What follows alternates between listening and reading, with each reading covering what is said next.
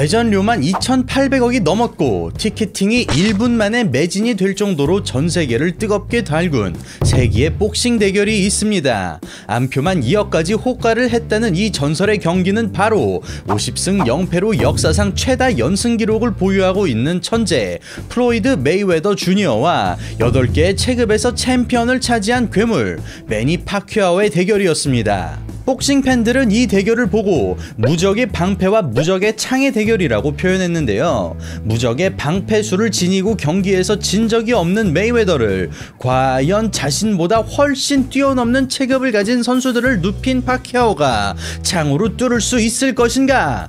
바로 이 부분이 매니아층들의 궁금증을 자아내게 만든 포인트였습니다. 무적 대 무적. 듣기만 해도 누가 이길지 궁금하지 않나요?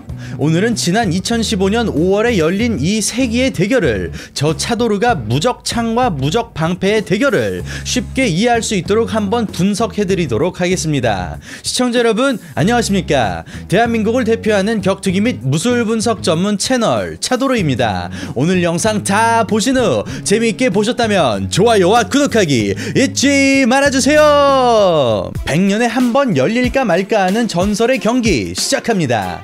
공이 울리는 동시에 거리를 재는 듯한 잽이 오갑니다. 어림잡아 볼 때는 체급 차이가 조금 나 보이는 듯 합니다. 메이웨더가 조금 더 커 보이는군요. 파키아오, 인파이팅으로 들어가지 않고 조심스럽게 뒤로 밀려납니다. 찰나의 메이웨더 원투! 저 원투를 바로 사이드로 돌아서 피하는 파키아오. 그걸 쫓아가며 끝까지 맞추려는 메이웨더.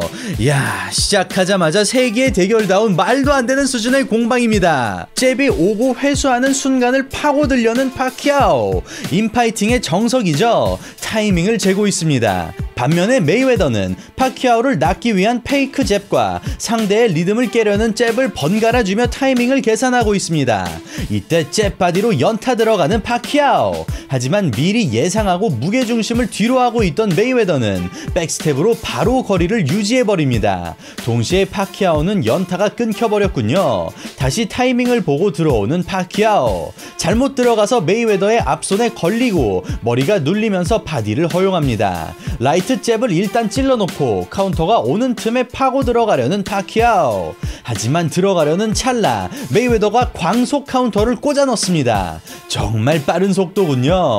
1라운드는 이런 양상이 계속해서 이어집니다. 메이웨더는 자신의 거리 유지를 위한 잽과 카운터를 적극적으로 활용합니다. 자, 메이웨더의 전매 특허가 나왔네요. 앞발의 중심을 보면 알겠지만 앞발에 힘이 잔뜩 들어가 있습니다. 카운터를 때릴 준비를 하고 있군요. 파키아오의 라이트 잽이 오는 순간 앞발을 보십시오. 파키아오의 앞발을 막으며 사우스포의 움직임을 차단하고 바로 스트레이트. 경이로움 그 자체입니다. 코너에 몰린 메이웨더 놓칠세라 파키아오는 연타를 시전하러 들어가지만 메이웨더는 클린치를 하며 코너에서 탈출합니다. 전형적인 아웃복서의 전략이죠. 이렇게 긴장감 넘치는 1라운드가 끝이 납니다. 메이웨더의 리치 차이를 극복하고 파고들려면 거리가 정말 멀기 때문에 파고들기 위해선 스텝을 깊고 빠르게 점프하듯이 밟아야 하는데요. 공이 울리자마자 과감하게 돌진하는 파키아오. 하지만 메이웨더 차분하게 백스텝 후 사이드로 돌아서 주먹을 흘려버립니다. 파키아오 선수 중심을 잠시 잃어버리는군요. 쉬는 시간에 코치가 조언을 해준 걸까요? 1라운드에 비해 조금 더 저돌적인 스타일로 바뀐 파키아오입니다. 낌새를 알아챈 메이웨더, 그도 상황에 맞게 전략을 변경합니다. 1라운드와는 조금 다르게 조금씩 뒤로 물러나며 플레이를 하는군요. 하지만 코너에 금세 몰려버린 메이웨더 분위기가 싸해지며 파키아오 연타를 쏟아부을 준비를 합니다만 메이웨더의 스트레이트가 깔끔하게 들어가면서 순간 흐름을 끊어줍니다. 코너에서 빠져나오려 하는 메이웨더 하지만 순간적으로 기어를 올려 바로 따라잡는 파키아오입니다. 하지만 메이웨더는 사우스포에게 편한 방향 쪽으로 빠져나가던 척하다가 파키아오가 반응하자 순간적으로 반대쪽으로 스텝을 쓰며 나옵니다. 역시 메이웨더다운 노련함입니다. 하지만 파키아오의 압박은 계속되었고 다시 코너로 금세 몰려버린 메이웨더였습니다. 방금 전과 똑같은 상황입니다. 하지만 똑같은 함정에 두 번 걸리지 않은 파키아오는 메이웨더의 스트레이트를 기다렸다가 한 뼘 차이로 피하고 다시 연타를 시도합니다. 하지만 메이웨더에겐 또 다른 카드가 있었습니다. 그는 클린치를 활용하며 파키아오를 밀어내면서 코너를 빠져나옵니다. 메이웨더는 정말 포인트 복싱의 끝판왕인 것 같습니다. 클린치를 하는 와중에도 파키아오의 바디를 치면서 포인트를 쌓고 있군요. 심판의 브레이크 선언에도 계속 붙어 있는데 관중들의 야유도 들리기 시작하네요. 복싱은 발로 하는 거라는 말 들어보셨죠? 파키아오는 스텝만으로 페이크를 줘서 메이웨더를 다시 코너로 몰아넣습니다. 앞뒤 좌우 앞뒤 여섯 번의 스텝을 저렇게 빨리 주는군요.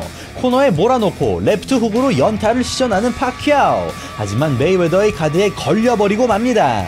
다시 클린치 후 바디로 포인트를 쌓는 메이웨더. 이때부터 관중들이 파키아오 에게 응원을 하는 함성 소리가 들리는군요. 파키아오에게 기세가 몰립니다. 이 장면이 2라운드의 중요 포인트라고 할 수 있겠군요. 파키아오의 연타와 코너를 몰아넣는 압박은 세계 일류입니다. 하지만 메이웨더도 괜히 무패가 아니죠. 코너에 몰리려 하자 메이웨더는 공격 시도 후 파키아오의 리듬을 끊는 동시에 전진 스텝을 밟으며 공격을 가합니다. 펀치가 적중하지 않자 바로 파키아오의 연타를 저지하는데요. 그 방법이 기가 막힙니다. 파키아오는 연타를 시작할 때 숙이면서 돌진하는데 메이웨더는 이 움직임 자체를 봉쇄하기 위해 두 팔로 목을 누르면서 그대로 빠져나옵니다. 아, 파키아오는 겨우 잡은 연타의 기회를 또다시 이렇게 놓치고 맙니다. 그렇게 2라운드 끝이 납니다. 아, 경기 내용 자체는 슬슬 지루해지고 있는데요. 아, 근데 사실 이 경기의 또 다른 묘미는 바로 헐리우드 배우들과 셀럽들이 경기 관람을 하고 있는 모습을 엿볼 수 있다는 점이겠습니다. 얼마 전에 복귀 전 경기를 치른 마이크 타이슨도 현장에서 보고 있었군요. 아무튼 파키아오는 3라운드에도 똑같이 메이웨더를 코너에 몰아넣고 연타를 날리려 합니다. 하지만 이전과 마찬가지로 메이웨더는 클린치로 빠져나옵니다. 야, 이제는 대놓고 목을 누릅니다. 이제는 심판이 경고나 감점을 해도 이상하지 않을 정도인데 일단 경기는 그대로 속행합니다. 목이 눌리게 되면 체력이 고갈되기 마련인데요. 잔기술을 정말 교묘하게 잘 쓰는군요. 이제는 이게 복싱인가 격투기인가 싶을 정도로 목을 조 릅니다. 관중들의 야유에도 불구하고 심판은 브레이크와 경기 속행을 지시합니다. 확실히 체력이 조금 빠진 듯한 파키아오. 파키아오의 연타는 이번 라운드에도 터지지 않으며 3라운드 종료됩니다. 현재로선 메이웨더의 지루하지만 완벽한 defensive 복싱이 파키아오의 오펜스보단 훨씬 월등해 보입니다. 4라운드가 시작되는데 파키아오 조금 화가 난 듯합니다. 3라운드 초반 마침 코너로 몰리는 메이웨더 모든 게 들어맞는 순간 파키아오는 기회를 살리기 위해 step in하며 양훅 콤비네이션을 꽂아 넣습니다. 하지만 메이웨더 이제는 아예 팔로 밀어버립니다. 쩍 소리가 나는 콤비네이션이지만 메이웨더의 밀어버림으로 연타는 끊기고 맙니다. 어느덧 4라운드 중반 파키아오는 이제야 몸이 조금 풀린 듯 움직임이 편안해 보입니다. 좌우로 가볍게 위빙을 해주며 들어갈 타이밍을 보고 있습니다. 이때 리듬을 끊으려는 메이웨더의 날카로운 잽! 하지만 메이웨더의 이런 반응을 기다렸다는 듯이 바로 레프트 카운터를 날리는 파키아오. 이번에는 몸도 풀린 상태로 거리 타이밍까지 완벽하게 맞췄군요. 파키아오의 펀치는 지면을 차고 점프하듯이 날리기 때문에 그 파워는 정말 강력하죠. 메이웨더 충격이 큰 것 같습니다. 데미지를 회복하려는 찰나 파키아오 절대 놔주지 않습니다. 와 드디어 걸렸습니다. 와 파키아오 엄청난 기회. 입술 꽉 깨물고 치는 파키아오 지금 진지합니다.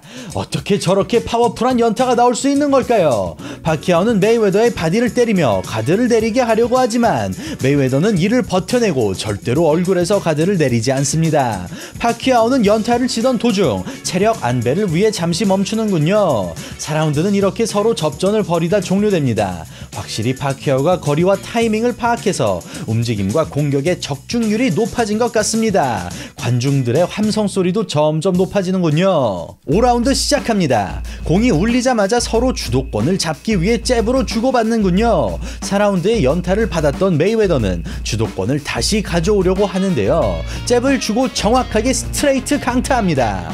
원투 원투 파키아오 잠시 균형을 잃어 데미지를 받은 것처럼 보입니다. 여기서도 보시면 메이웨더의 앞발은 사우스포의 앞발 축인 오른쪽으로 돌아 파키아오가 스텝을 밟아 피하려는 움직임을 미리 차단합니다. 이 때문에 파키아오는 당황하고 가드를 할 수밖에 없는 상황에 놓이게 되는데요. 마지막에는 차분하게 머리에 앞손을 대고 조준 어퍼컷! 하지만 파키아오도 대단합니다. 이런 정신없는 와중에 메이웨더의 펀치를 또 피하네요.